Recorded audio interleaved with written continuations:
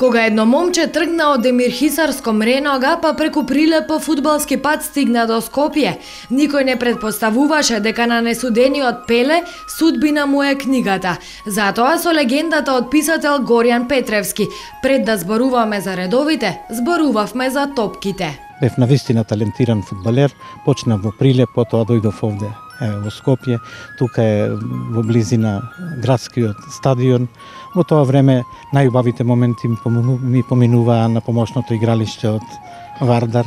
И известно време тренер ми беше Андон Дончевски, кој што многу, многу го почитувам. Тој беше голем педагог, пред тоа голем фудбалер и голем тренер.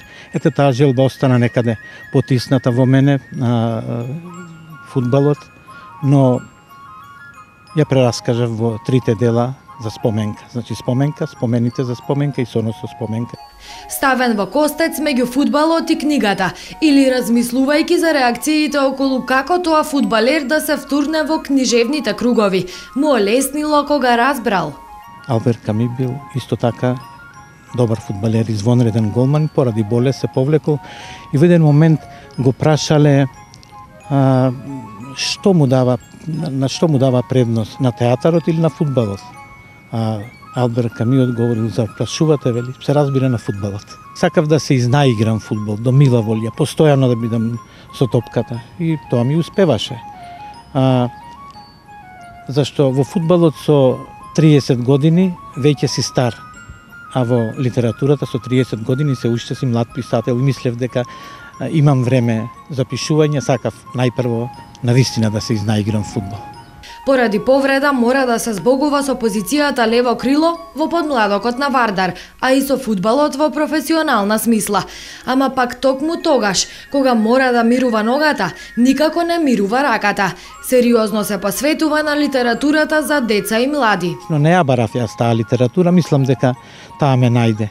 И јас бев убеден кога почнував да пишувам во на рана возраст, бев убеден дека ќе создадам литература која ќе им се допаѓа и на децата, и на младите, и на возрастните, зашто не правев поделба на детска и на возрастна литература. Во ние години кога ги читав оние прекрасни книги за деца, мене ми се причинуваше дека тие се и за возрастни. Е сега, во моите книги јас навистина обработувам проблеми кои се врзани не само за младите, туку и за возрастните, за родителите, за дедовци, за баби. Во тој сплетот млади ги создавав моите книги и спонтано влегуваа во лектирите. Тоа беше по избор на читателите. А и наставниците се разбира. Но читателите беа тие што а, си ги препорачуваа едни на други, зашто нема подобра препорака за една книга ако не ја ти изрекламираат читателите ако таа допре до нив. Неговите дела одамна се лектири, дури и кога се незадолжителни, задолжително се барани. Не случајно, за чистата љубов и вистинското пријателство, нема кој не може да разбере нешто повеќе, штом Петревски раскажува. А веќе 36 години, во списанието Наш свет, во едно влюбено катче, Петревски советува и влече инспирација. Приказната за фамозната Марта тргнала токму од ова писмо, подпишано од несрекната Емона од Скопје пред повеќе од 27 години. Од таа страница имам толку многу писма добивано. Имам зачувано сигурно некаде околу 7-8 илјади писма. А, во нив младите ми ги открива проблемите, А потоа тие проблеми на, ги создавав моите романи, како што беа Марта, Снеговите на Климентина Евин, па исти очи, Далечна љубов, Вечниот ветар. Сватив дека а, младите се многу сериозна публика и не простуваат. За нив добри, нештата се добри или лоши. Уште со првата страница, кој не им се допаѓаш, тие ја оставаат книгата, не те читаат. Како посебно скокотлив знае да го истакне ликот на споменка. Споменка е ликот моите младешки години, еве, првата љубов, зашто и ние, нашите генерации, на вистина, знаевме, умеевме да се заљубуваме, но мислам дека нашето сакање беше многу чисто. Вториот дел го оставив необјавен 20 години. Едноставно немав доверба, се плашев да не го распишам, да не го расипам печатокот за првиот дел, но читателите беа тие што ме поттикнуваа да напишам и втор дел, затоа што мислеа дека приказната за споменка не им е целосна.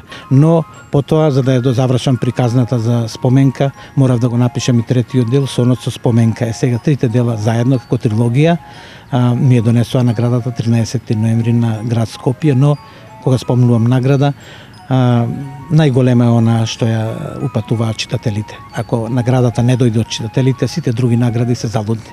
Следна книжевна станица му е роман за возрастни. Мојот најнов роман се вика Духот на Михаела Косар.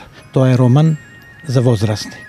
А, јас имам неколку идеи да напишам и романи за возрастни, да објавам, но еден живот е изгледа мал човек за да може се да реализира. Не знам јас колку имам прекрасни идеи за за реализација, но треба да се има време, треба да се да се стигне, се да се заврши. Незалудно е наградуван и толку баран. Незалудно децата и младите сакаат да го читаат и денес, иако денешново е многу поинакво време од онаво кое се родиле популарните книги со негов подпис. Незалудно и му посветивме едно интервју на писателот Горијан Петревски.